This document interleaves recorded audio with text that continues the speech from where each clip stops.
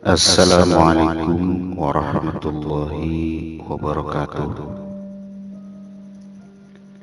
Alhamdulillahirabbil alamin wassalatu wassalamu ala asyrafil anbiya'i wal mursalin wa ala alihi wa sahbihi ajma'in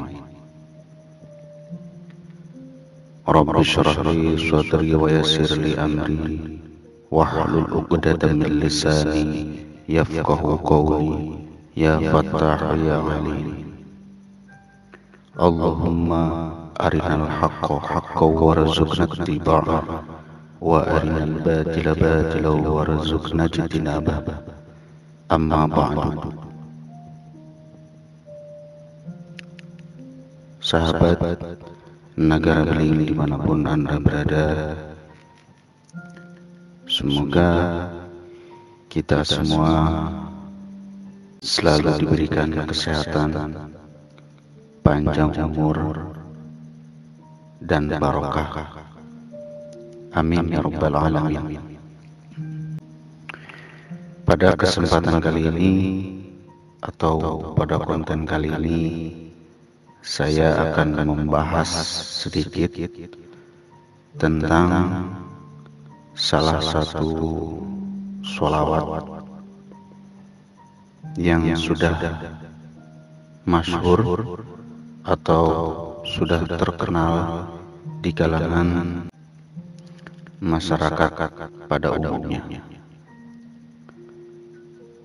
Sholawat ini dinamakan sholawat Tibil Ulu.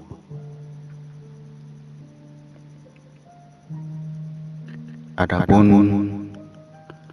faidah atau khasiat daripada sholawat ini begitu banyak dan di sini saya hanya akan membahas atau mengangkat satu khasiat atau faidah.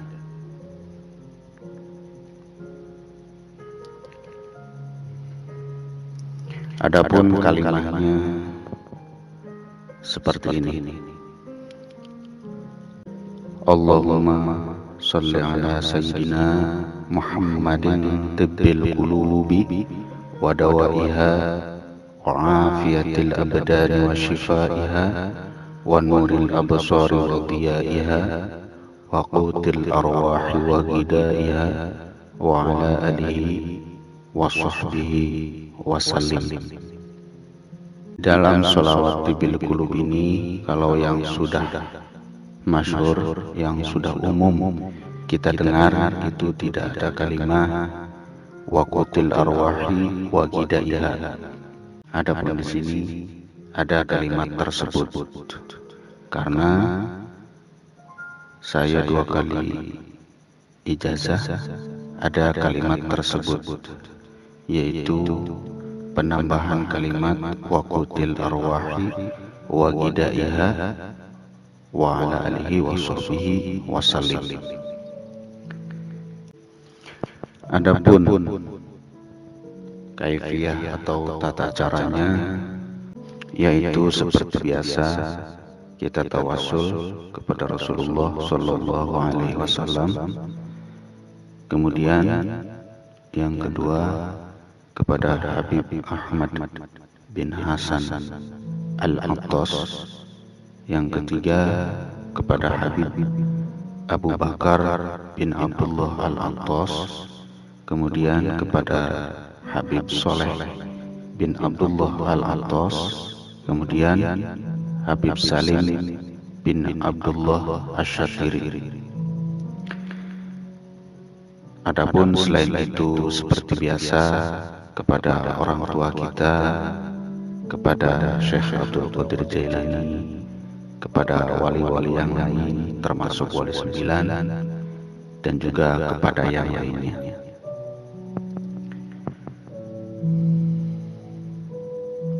Adapun cara pengamalannya atau tata cara menggunakan Salawat ini sebagai wasilah untuk menyembuhkan berbagai penyakit terutama penyakit mata.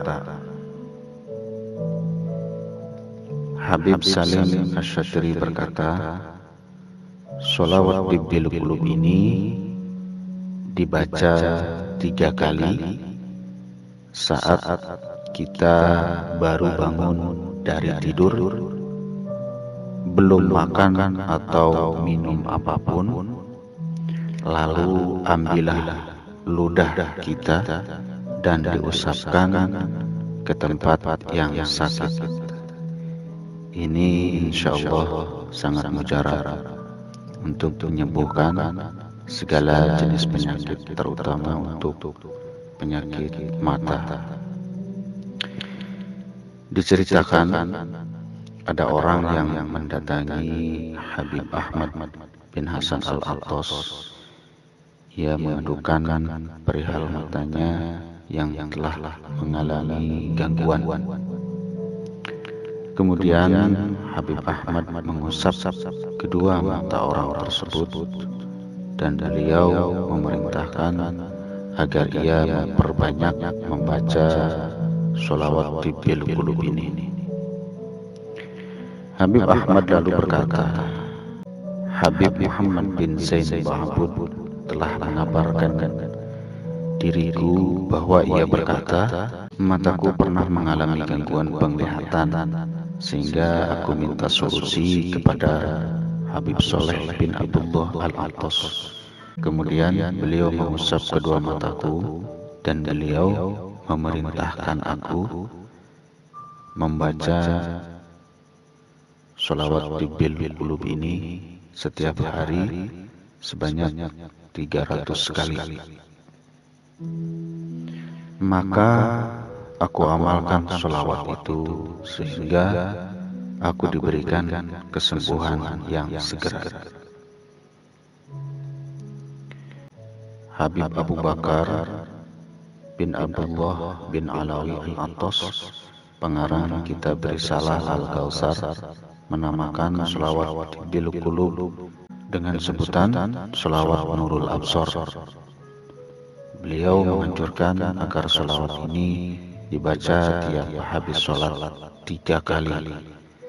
Sanad ini sampai kepada Habib Ahmad bin Hasan Al-Attas Habib Abu Bakar bin Abdullah Al-Attas dan Habib Soleh bin Abdullah Al-Attas. Sahabat, seperti itulah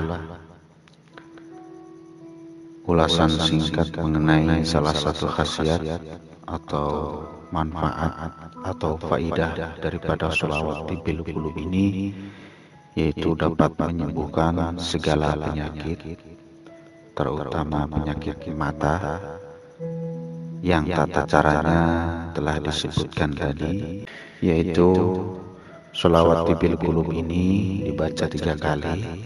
ketika kita bangun dari tidur belum makan dan minum apa pun. lalu ambillah ludah kita dan diusapkan ke tempat yang sakit. seperti itu. kurang lebihnya saya mohon maaf Allahumma muafiq ila qawmi tariq. Wassalamualaikum warahmatullahi wabarakatuh.